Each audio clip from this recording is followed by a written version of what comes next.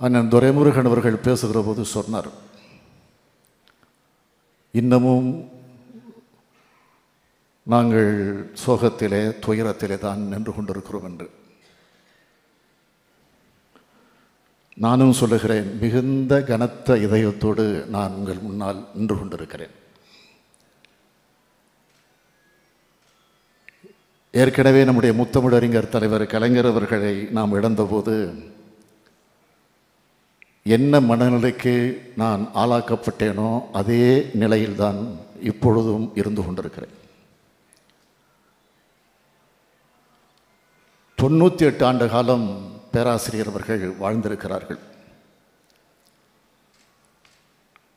ஐம்பது ஆண்டு காலம் நம்முடைய பேராசிரியர்களை நான் பார்த்திருக்கிறேன். உதாரணத்திற்கு சொல்ல வேண்டும் என்று சொன்னால் நான் பள்ளிக்கூடத்தில் படித்து கொண்டிருந்த ஒரு மாணவனாக இருந்தபோது கோபாலபுரம் பகுதியில் இளைஞர் திமுக என்ற ஒரு மன்றத்தை தொடங்கி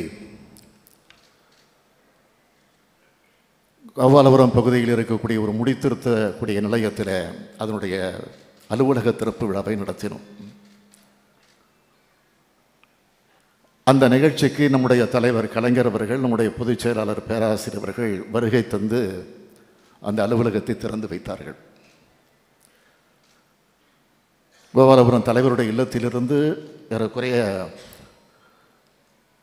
ஒரு ஃபர்லாங் தூரம் இருக்கும். நடந்தே வந்தார்கள். தலைவரும் பேராசிரியர்களும் வீட்டிலிருந்து நடந்தே அந்த முடித்திருத்தக்கூடிய நிலையத்திற்கு வந்து அதை திறந்து வைத்து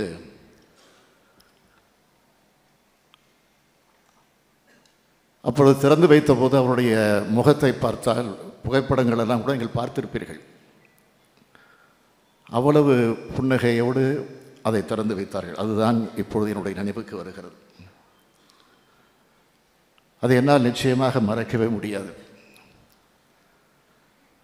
திராவிட முன்னேற்ற கழகத்தினுடைய பொதுச் செயலாளராக ஏறக்குறைய நாற்பத்தி மூணு ஆண்டு காலம் அந்த பொறுப்பை ஏற்றுக்கொண்டு தலைவர் கலைஞர்களுக்கு பக்கபலமாக கலைஞர் கலைஞர்களுக்கு துணையாக இந்த இயக்கத்தை கட்டி காத்து இன்றைக்கு கம்பீரமாக இன்றைக்கு விளங்கி கொண்டிருக்கிறது என்று சொன்னால் அது அவருடைய சிறப்பான பணிதான் என்பதை நான் நினைத்து பார்க்க வேண்டும். தனிப்பட்ட முறையில் எனக்கு ஒரு மிகப்பெரிய இழப்பு. எனக்கு தொடர்ந்து தோல் கொடுத்து கொண்டிருந்தவர் நம்முடைய பேராசிரியர் அவர்கள். அதனால் இந்த இழப்பை என்னால் தாங்கிக் கொள்ளவே முடியவில்லை. அதனால்தான் அவர் மறைந்த உடனே என் உள்ளத்தில் என் எண்ணத்தில் தோன்றிய அந்த உணர்வுகளை எல்லாம் அப்படியே சில வார்த்தைகளாக நான் பதிவு செய்தேன் என்பது உங்களுக்கு தெரியும். திராவிட சகரம் சாய்ந்து விட்டது. சங்கப்பலகை சரிந்து விட்டது இனமான இமயம் உடைந்து விட்டது எங்கள் இன்னுயிர் ஆசான் இறந்து விட்டார் பேரறிஞர் அண்ணா குடியிருக்கும் வீடாக இருந்தவர். முத்தமிழறிஞர் கலைஞரை தாங்கும் நிலமாய் இருந்தவர். எனது சிறகை நான் விரிக்க வானமாய் இருந்தவர். தலைவர் கலைஞர் அவர்களோ என்னை வளர்த்தார். பேராசிரியர் அவர்களோ என்னை வார்ப்பித்தார். எனக்கு உயிரும் உணர்வும் தந்தவர் தலைவர் கலைஞர். எனக்கு உற்சாகமும் ஊக்கமும் ஊட்டியவர் நம்முடைய பேராசிரியர் பிறந்தவர்கள் இந்த நான்கும் தான் என்னை இந்த இடத்தில் இருத்தி வைத்திருக்கிறது. இதுதான் உண்மை. பேராசிரியர் பெருந்தகையை பெரியப்பாவாகவே நான் ஏற்றுக்கொண்டேன். அப்பாவை விட பெரியப்பாவிடம் நல்ல பெயர் வாங்குவது என்பது சாதாரண காரியம் அல்ல அது மிக சிரமம். ஆனால் நானும் பேராசிரியர் பெரியப்பாவினால் அதிகம் புகழப்பட்டவன் நான். அந்த கர்வம் எனக்கு இன்னும் இருக்கு. அவர் தான் சொன்னார் இங்கே கூட மேடையில் சிலர் குறிப்பிட்டு சொன்னார்கள். அவரே சொன்னார் முதலில் கலைஞருக்கு பின்னால் தம்பி ஸ்டாலினே தலைவர் என்று அறிவித்தவர் அவர்தான். இதை விட என்னுடைய வாழ்நாள் பெருமை எனக்கு வழங்கிய பெருமை உண்டு. நிச்சயமாக கிடைக்க முடியுமா? முடியவே முடியாது. அப்படிப்பட்ட ஒரு பெருமகன் மறைந்தது என் இதயத்தை உலுக்கி கொண்டிருக்கிறது பிசைந்து கொண்டிருக்கிறது.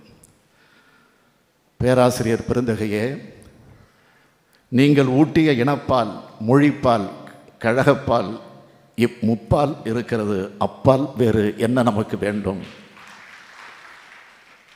உங்களது அறிவுரையில் எங்கள் பயணம் தொடரும் என்று நான் குறிப்பிட்டு என்னுடைய எண்ணத்தை வெளிப்படுத்தி இருந்தேன். அந்த அளவிற்கு எனக்கு எல்லாமும் அவராகத்தான் இருந்தார். அவர் வழிகாட்டி மட்டுமல்ல தந்தையாகவும் இருந்தார் என்று சொன்னால் மிக நம்முடைய பேராசிரியர் அவர்கள் உடல் நலிவுற்று இல்லத்திலே ஓய்வெடுத்து கொண்டிருக்கிறார். நானும் நம்முடைய பொருளாளர் அவர்கள் நம்முடைய கழகத்தினுடைய முன்னோடிகள் அடிக்கடி அவரை நேரடியாக சென்று சந்திப்பது உண்டு. உடல்நலம் விசாரிப்பது உண்டு. நாங்கள் உள்ளே செல்லுகிற போது எங்களை பார்த்ததும் சிரிப்பார். நாங்கள் வணக்கம் சொல்லுவோம். இருகரம் எடுத்து கும்பிடுவார். அருகிலே கூப்பிடுவார். போய் நிற்போம். கையை பிடிப்பார். அதற்கு பிறகு என் முகத்தை பார்த்து சிரிப்பார். நாங்கள் வெளியிலே நடக்கக்கூடிய சம்பவங்களை எல்லாம் சொல்லுவோம். கழக நிகழ்ச்சிகள் அரசியல் நிலவரங்கள் சட்டமன்ற நிகழ்ச்சிகள் நான் எந்த ஊருக்கு சுற்றுப்பயணம் நடத்திவிட்டு வந்தேன் என்ற அந்த செய்திகள் எல்லாம் வரிசையாக ஒன்றன் மேல் ஒன்றாக சொல்வேன். அதையெல்லாம் கூர்ந்து கவனிப்பார் கேட்பார். அவர் அஞ்சு நிமிஷம் பத்து நிமிஷம். அதற்கு பிறகு எங்களை பார்த்து கை தலையாட்டி விட்டு புறப்படுங்கள் என்று சொல்லுவார்.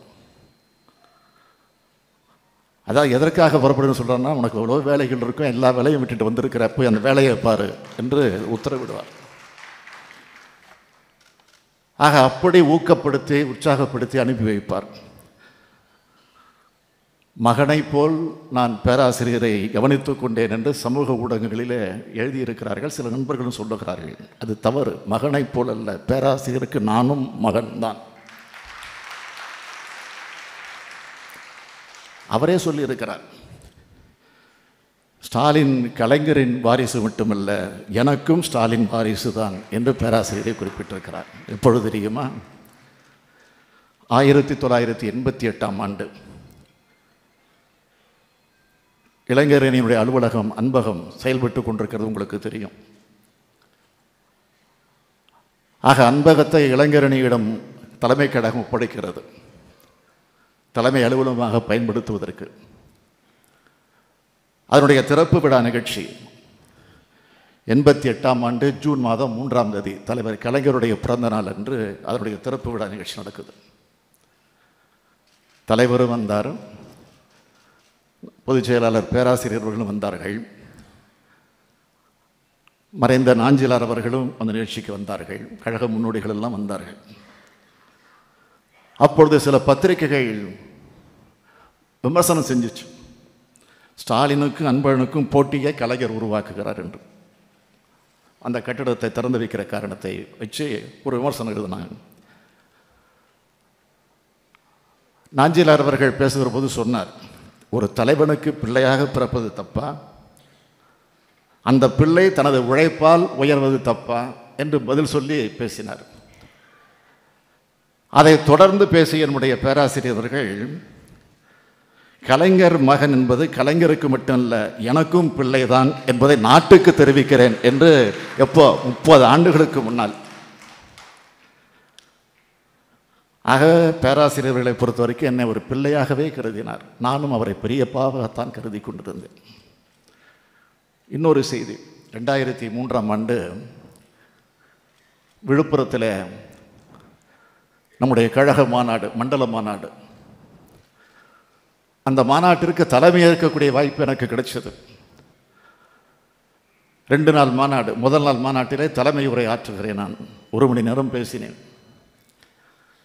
இரண்டாவது நாள் நம்முடைய பொதுச் செயலாளர் பேராசிரியர் பேசுகிறார்.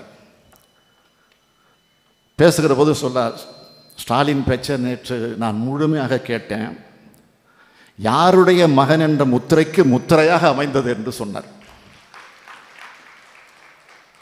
அதையும் தாண்டி அவர் சொன்னது கலைஞர் மூலமாக எதிர்பார்த்த பலனை தொடர்ந்து காப்பாற்றுவதற்காக ஸ்டாலினை நான் பாராட்டுகிறேன் என்றார். ஆக இப்படி தொடர்ந்து ஒவ்வொரு கட்டத்திலும் ஒவ்வொரு சூழ்நிலையிலும் என்னை பாராட்டி உற்சாகப்படுத்தி ஊக்கப்படுத்தியவர் தான் நம்முடைய பேராசிரியர் அவர்கள். தலைவர் கலைஞர் அவர்கள் அறிவாலயம் வந்த உடனே முதல் கேள்வி பேராசிரியர் வந்துட்டாரா? இதைத்தான் கேட்பார். வரலன்னா ஃபோன் போட்டு வர சொல்லுன்னு வந்ததுக்கு பிறகு எல்லா பிரச்சனைகளையும் அவரோட உட்கார்ந்து அலசி ஆராய்வார். விவாதிப்பார். நீண்ட நேரம் பேசிக்கிட்டே இருப்பாங்க. தலைவர் கலைஞருக்கு உடல்நலம் பாதிக்கப்பட்டு வீட்டிலே ஓய்வெடுத்தார். அதற்கு பிறகு மருத்துவமனையில் அனுமதிக்கப்பட்டார். அந்த செய்திகள் எல்லாம் உங்களுக்கு தெரியும். ஆக வீட்டில் இருந்தாலும் சரி மருத்துவமனையில் இருக்கக்கூடிய நேரத்திலும் சரி தலைவர் கலைஞர் அவர்கள் கண் விழிக்கிற போதெல்லாம் முதல் கேள்வி பேராசிரியர் வந்திருக்கிறாரா இதைத்தான் கேட்பார் எங்களை பார்த்தோம் அப்புறம் வருவார். வந்ததற்கு பிறகு பேராசிரியர் வந்திருக்கிறார்ப்பா நாங்கள் சொன்ன உடனே கையை நீட்டுவார் பேராசிரியர் கை நீட்டுவார் ரெண்டு பேரும் கையை பிடிச்சிப்பாங்க. அவர் இவர் முகத்தை பார்க்க இவர் அவர் முகத்தை பார்க்க. அப்படியே சிரிச்சுக்கிட்டே இருப்பாங்க பார்த்துக்கிட்டு. தலைவர் கலைஞர் அவர்கள் அடிக்கடி எங்களிடத்தில் சொல்லுவார்கள் பேராசிரியர் அவர்கள் ஒருவரை மதிப்பது என்பது ஏற்றுக்கொள்வது என்பது ஒரு சாதாரண விஷயம் அல்ல. அவரே என்னை மதிக்கும்படியாக செய்திருக்கிறேன் அதுதான் எனக்கு பெருமை அப்படின்னு தலைவர் கலைஞர் அவர்கள் பல நேரங்களில் எங்களிடத்தில் குறிப்பிட்டு காட்டியிருக்கிறார்கள். கலைஞர் மறைந்தபோது பேராசிரியர் இருக்கிறார் என்ற ஒரு மன நிறைவோடு நாம் இருந்தோம். ஆனால் அந்த பேராசிரியர் மறைந்து விட்டார். நாங்கள் அவரை போய் வீட்டில் போய் பார்த்துட்டு வர்றப்போல்லாம் நான் அண்ணன் துரைமுருகன் தொடர்கள் எல்லாம் பேசிக்கிட்டு இருப்போம். எப்படியும் தொண்ணூத்தெட்டு வயசு ஆயிடுச்சு இன்னும் ரெண்டு வருஷம்னா செஞ்சுரி போட்டுருவார். நூற்றாண்டு விழாவை மிக சிறப்பாக கொண்டாடணும். திராவிட இயக்க தலைவர்களே நூறு வயது இருந்த ஒரு தலைவராக பேராசிரியர் இருக்க போகிறாருன்னு நாங்கள்லாம் பெருமையாக பேசிக்கிட்டு இருந்தோம். ஆனால் அப்படிப்பட்ட நிலையில் நாம் எண்ணிக்கொண்டிருந்தோம். ஆனால் எதிர்பாராத நிலையில் அவர் நம்மை எல்லாம் விட்டு மறைந்து விட்டார். தலைவர் கலைஞர் அவர்கள் மறைந்ததற்கு பிறகு அவருடைய பணியிலே சோர்வு வந்துருச்சு. அவருடைய உடலில் சோர்வு வந்துருச்சு. நாங்கள் தொடர்ந்து கவனிச்சுட்டு இருக்கோம். கொஞ்சம் கொஞ்சம் கலைஞர் மறைந்ததற்கு பார்த்தீங்கன்னா அவர் பேச்சை குறைத்து கொண்டார். அவருக்கும் உடல் பாதிப்பு ஏற்பட ஆரம்பிச்சிருச்சு. கலைஞர் உயிரோடு இருந்திருந்தால் நிச்சயம் பேராசிரியர் இந்நேரம் நம்மிடத்தில் உயிரோடு இருந்திருப்பார். கலைஞர் பிரிவை தாங்க முடியாத காரணத்தால் தான் நம்மையெல்லாம் விட்டு பேராசிரியர்கள் மறைந்து விட்டார் என்று நான் கருதுகிறேன். அதுதான் உண்மை. ஆகவே அவரை இழந்து அனைவரும் பாடிக்கொண்டிருக்கிறோம் ஆக இன்றைக்கு அவருடைய திருவுருவப்படத்தை திறந்து வைத்திருக்கிறோம். அவருடைய திருவுருவப்படத்தை திறந்து வைத்திருக்கக்கூடிய இந்த நேரத்தில் எல்லா தலைவர்களும் சொன்னது போல வழிமொழிந்து நானும் கூறிட கூறிட விரும்புவது நாம் எடுக்க வேண்டிய உறுதிமொழி தமிழின உணர்வும் தமிழ் மொழி பற்றும் திராவிட இயக்க கொள்கையும் கொண்டவராக நாம் தொடர்ந்து வாழ வேண்டும். பேராசிரியர் விட்டு சென்றிருக்கக்கூடிய பணிகளை கலைஞர் வழி நின்று பேராசிரியர் வழி நின்று நாமும் பாடுபட பணியாற்ற உறுதியெடுப்போம் உறுதியெடுப்போம் என்று சொல்லி என் உரையை நிறைவு செய்கிறேன். வணக்கம்.